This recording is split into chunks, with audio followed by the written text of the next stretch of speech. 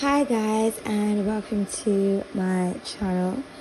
Um, so I just had a channeled message that I wanted to um, share with you guys. Um, just as I was like getting ready for bed and everything, I was like, oh god, I'm not gonna get dressed again to do like a visual, so you know, blackout reading. But I just wanted to just um, I may do an episode about this on my other channel, but um, you know, I've already got a few episodes premiering for every Friday. If you guys want to watch that, the Truth Hurts, it's in the description box. But um, I thought I would just, because it's like, I got the channel message right now. I'm just going to share it with you guys. So whoever this is for, you know. But um, I'm hearing that don't take it personal, okay? And this is for people who, sorry if you can hear that, that's my fucking um kettle in the background. Um, this is for like low people who are on like a higher frequency or when you're raising your vibration you're gonna find that like you have low tolerance for 111 just as i said that for things. Like you're just there's certain things you just can't put up with. There's certain things or certain people certain places certain energies that you just can't be around.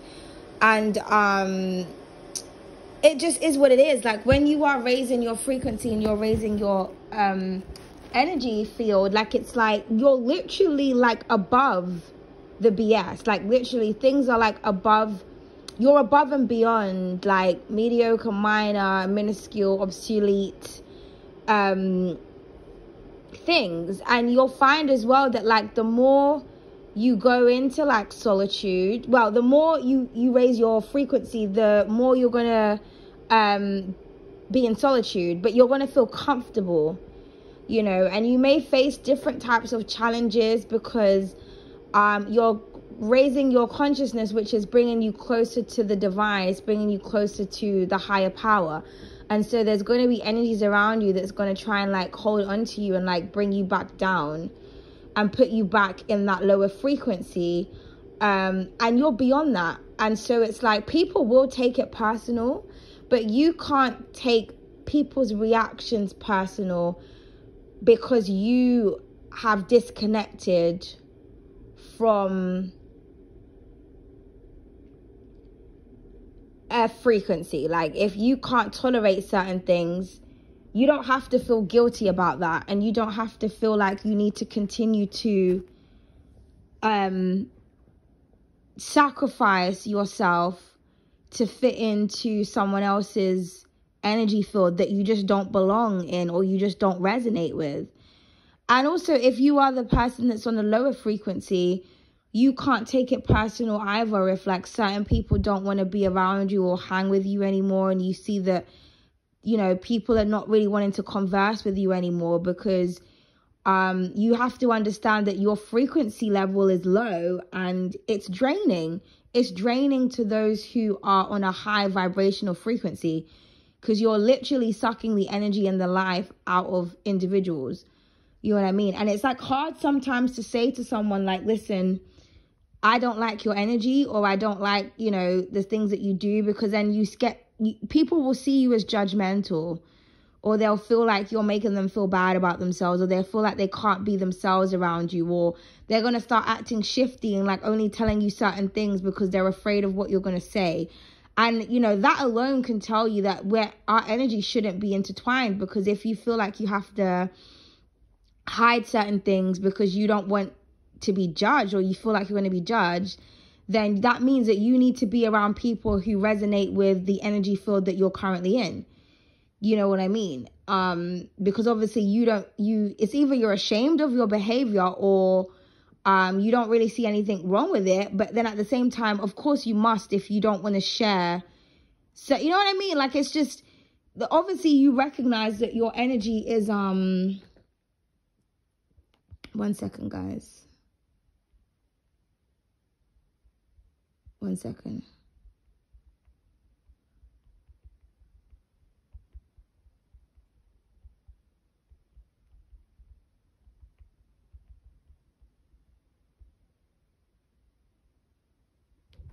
Sorry guys, I just had to message my little brother back. But yeah, so um yeah. So that's what I'm just going to say. Because obviously, like, you know, the closer you get to the divine, um, the closer, the more serious you become about your spirituality, about your pathway, you know, you're gonna have to, um, this is why I always say that not everyone is the emperor and the empress, and not everybody is of divine frequency. It doesn't matter how much people want to tell themselves, well, I'm spiritual, I'm this, I'm that, because I got sage and I got a couple cards and things, it means that I'm this. No, it doesn't. Do you know what I mean? Like, in order to be like a fully developed high frequency being, you know, that's somebody who's like cleansed. You know, they've let go of bad habits, or maybe they didn't have bad habits in the first place, you know. Um, I mean, that's somebody who's of real purity, you know, but somebody who is disciplined, you know what I mean? They don't keep repeating the same cycles because they understand the lessons. They don't keep going back into the same um, places or going back to the same situations that keep hurting them, you know. They they have the strength the stamina, the willpower to continue to move forward because that's the only way that they can ascend. They're okay with being alone and going into hermit mode because they have a beautiful connection and relationship with the divine. They're not in search of um, validation from other people. They're not lonely and feel like they need another partner or another person in order to complete a mission in life because they understand that they are a spiritual being and they are in tune with spirit. So when, you know, it's like the monks, you know, I mean, that's a very, um, you know, kind of extreme example, but do you know what I mean? When the more in tune with spirit you are, the more detached you are from actual reality and life and like people in it. You know what I mean? And, you know, a lot of people that go on their spiritual journeys have faced real serious shit and so when you're around other people and they've got like, you know, dumb little problems with their friends or, you know, a boy that won't speak to them or um just dumb little shit, you're just like, rare, like, you know, I fucking faced death last week. The week before that this happened, the week before that that happened. And you know, sometimes people don't want to be around others because it's like you're not on my frequency level. So it's like I'm not going to be able to rely on you or confide in you when it comes to certain stuff because you're not strong enough to be able to deal with it or handle it or even give me any advice or wisdom or guidance. You know what I mean? Because you're on a lower frequency. You can't even guide yourself.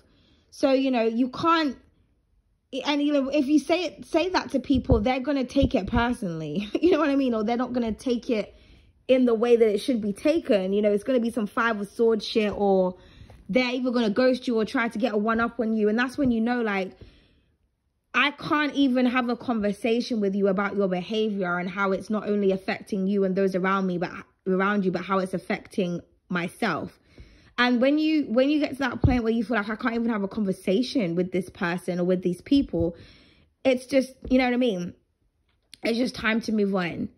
You know, you can't compensate with people who can't take accountability for their own behavior or for their own bad habits. And, um, you know, it's just like I said, whatever side you're on, whether you're on the higher frequency or the lower frequency, you can't take shit personal. You know what I mean? It just, it is what it is. You just can't vibe with certain people or certain situations. You just outgrow things. Excuse me. You know? That's just what it is you know, and um, you may feel quite isolated, or for those who are on lower frequencies, you may feel angry, you know, or confused, or, you know, oh, that person thinks they're on the high horse, they think they're self righteous, they think this, they think that. They don't think anything. They know exactly who they are and where they're going, and they're following a path, and, um, you know what I mean? Some things can't come with them negative energy is not welcome um for where they're going. You know what i mean? So um yeah so I, that's just the message i was getting is like don't take it personal if you're someone that's ascending you know. And I, I would say as well just explain less. You don't have to say to people you know what especially because you may be someone where you're always telling someone well this is the reason i feel like why we keep clashing or this is the reason why I feel like this is happening or this. I feel like you could be getting tired of almost having this kind of like patient fucking therapist relationship with people because that's just how your friendships is turning out. That's how your relationships are turning out. that's how it is with your family. It's like you're always teaching or consoling or you're always fucking healing people and you may just get tired. It's like I don't want to have to keep teaching someone how to fucking behave and how to be normal. Like if you don't know how to get it together now, I don't know how to help you. Cuz that's what the whole night um dark night of the soul is all about. You have to figure shit out for yourself. You know what I mean? And so like um you know, as they say, um, many are called, but only few are chosen. And people are chosen for different things. Some people are chosen to stay on the dark side or to be low vibrational energies. And that's just where they still stay. And that's why I say, like, it's not to take it personal or, you know, don't be hard on yourself if you feel like, you know what, I have to let this person go. I have to let these people go, man. Because it's like some people, they're just made to stay where they are. And if you know that you're not supposed to be in that frequency, in that energy, you don't have you can't feel guilty for wanting to to be a better person for wanting to have a purer energy some people like being toxic they like drama you know what I mean? You'll have people that drink and then they start getting drunk and then going, oh, I feel low. I feel this. I hate feeling like this. Like, why the fuck do you keep drinking then, idiot? Like, do you know what I mean? But if you say that to someone, because it's a habit, they can't deal with life they can't deal with their their own reality so they have to escape and that's their form of escapism they take themselves to a low vibration and then when they get there they're all in their feelings and it's just a cycle. And you may hate seeing that. You don't want to be a part of it. You don't want to feel people's emotions. You don't understand why people keep voluntarily torturing themselves. So if you don't want to be a part of that anymore that's okay. There is no need for you to feel guilty about that. And for the people that are in that lower vibration, you have to accept and understand that some people, your energy is just too heavy for some people. They just, they can't be around it. You know what I mean? Some people as well who are in the lower vibration, they, they can be very disrespectful. And then like, if people don't want to be around them anymore, it's like, well, why not? Because people don't want to be around people who are disrespectful. If you're someone of divinity and a high energy and a beautiful aura, you're not going to go around being a bitch to everyone. Do you understand what I'm trying to say? So it's just, you know, there's a time to raise your frequency and i feel like a lot of the um the divine ones that you know we're being called into service like shit's really getting real.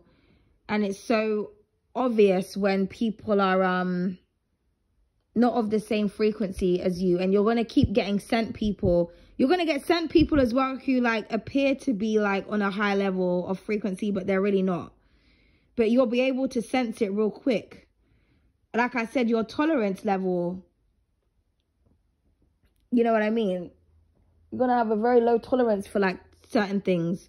Someone talks to you the wrong way, you're going to call them up about it. You're going to pull them up because be like, yeah, because last time when I was talking to someone like you and they said something like that to me, I let it slip. And I kept letting it slip and slide and slip and slide. And then it turned into something. So now, you know what? I'm just addressing this there and then. Boom someone can't take your energy or it's too powerful or it's too sassy or it's too direct, that that's good because you know that that person is a weak bitch. Next, move on. Do you know what I mean? That's not your people. That's not someone that's in your frequency. That's somebody that's coming to stealth your growth in some type of way or coming to lower your frequency because they can't handle you in your high vibration. You know what I mean? And if you have to challenge someone on something that they're doing or saying, that shouldn't even be a case. Like, you know I mean? You shouldn't have to feel like you need to do that. That means that that person is operating from some type of frequency that's not in resonance with yours. Because you shouldn't have to feel like you need to get to that level or have your guard up or start, you know what I mean, getting your sword out and shit. You know, it, it shouldn't even be like that. You should just, your energy just should just flow with someone else's. That's how you know when you're in resonance with someone when the feeling is mutual, the respect is mutual, everything is mutual. You know what I mean? So yeah. So um that's just what I wanted to say. So keep thriving, keep surviving, keep elevating. And you know, pat yourself on the back as well if you are someone that's really kind of you know, saying to yourself, I'm going to stop doing these things, and then you're actually disciplined enough to stop doing them, you know, congratulate yourself. That's an achievement. That's that's success. You know, success means many different things to different people. A lot of people think that because they're on the top and they got loads of money or they've like made it in some arena in their life that they're more successful and they look down on people. But some of those people are the most evil, miserable people on earth. They have nothing else but their stability and their money They don't have love. They don't have um purpose. You know what I mean? They don't have a real connection to the divine. They don't have a sane, sound mind. They don't have wisdom. They don't have all the things that's important. Because, you know, um, stability, fame, popularity, that can be taken away from you in a second. I mean, we were taught that back in 2020 when people were fucking stuck in their house and shit. You know what I mean? But we still had the internet at that time. So anyone who was online and shit, they probably were thriving. But there could be a time where the internet fucking gets wiped out. Then what, what the fuck is everybody going to do? When, when you can't get access to attention anymore, then what happens? Do you know what I mean? Your soul is eternal. Everything in life and reality can perish. Your soul is something that lives on and it continues to reincarnate into different realms and different places. But the karma that you carry with you to the following realms and the different places after your body perishes, that's what you're going to have to live on eternally. So what you do in this lifetime is very important. This is why it's so important for certain people when they're focused on like raising their divinity and their vibration and letting go of certain things because they understand the afterlife. They understand their purpose. They understand what's beyond them. So they take shit seriously in this lifetime because it's like some of us, you know, we've been here several thousand times. This is where deja vu comes from. You know what I mean? So it's like, I'm, I, why am I here? Okay, if I know that this is my, I'm not reincarnating on this time on earth, I need to make sure that like I, I raise my vibration to the fullest so that when I leave, I could go to my eternal paradise, wherever that may be. Because, you know, when you, when other people are in their karma, in their lower vibration, that shit rubs up on you, you know. When you're, when you're interrupting someone else's karma or when you're allowing somebody to to rub their lower vibration onto you, that then changes and alters your destiny. Because we're all destined for things, but, you know, people have free will at the end of the day. This is why we're always being reincarnated to keep fucking learning lessons and going through cycles. Because it's like, well, last, last lifetime couldn't get shit together. The lifetime before that couldn't get shit together. And to me, that's what hell is when you're repeating the same thing over and over again and you can't get out of it. Like the Eight of Swords, when you're just trapped. But you're trapped in there because of your own self. Because that's what the Eight of Swords energy is. It's mental in imprisonment. It's like the person in the Eight of Swords, when you look at the card, they're not actually like, they can actually like take the blindfold off and like walk through the swords. But they have put themselves in that cycle. It's, in, it's the imprisonment of the mind when you are a slave to your own self. That's the real hell. So in order to be, you know, to be able to raise your vibration and to come out of that hell, you need to have control over your own mind. You need to be wise. You need to stop doing certain things and stop hanging around with certain people. Allow, you know, if certain people are stuck in their energies, they're stuck, man. You have to learn to let go and to detach. That's what divinity is. It's not attached to anything. The cosmos is boundless. It's limitless. Everything's all fucking floating in, in, in, in the cosmos. There, nothing is attached to anything. Yeah, do you know what I mean? And I always say that the lesson in life is detachment. Like when people like to talk about the soul flame and the twin flame journey, which I'm going to do an episode about on my other channel, um, that lesson alone is about detachment. People are very codependent on one another. You're not supposed to be codependent. You're supposed to be in alignment. There's a difference. This is why there's so much toxic relationships out here. This is why there's a lot of kids made out of war, but not out of love. This is why people value lust, but not love. Why they don't have solid relationships. Why people prefer to be with several different people rather than having that one solid person. Because that's all you need. That's all you need people don't have self-worth and self-value therefore they can't value others. They value things and things can be taken away from you at any given moment and every any given time. You know what i mean? But anyway i said what i said so yeah. That was a download the channel message. Um if that found you well let me know in the comment section and i'll see you guys in the next video okay? Hopefully you'll see me but yeah, I just had to get that out, okay? But I will be doing probably an episode about this more in depth um, on my other channel, The Truth Hurts at Leonie Seann. Again, if you guys want wanna um just see me talk about random shit, you can go and follow me on that channel. Um, yeah, and I'm open to topics as well to kind of discuss and talk about. Okay, but um, I'll see you guys in the next video for some more readings. Bye bye now.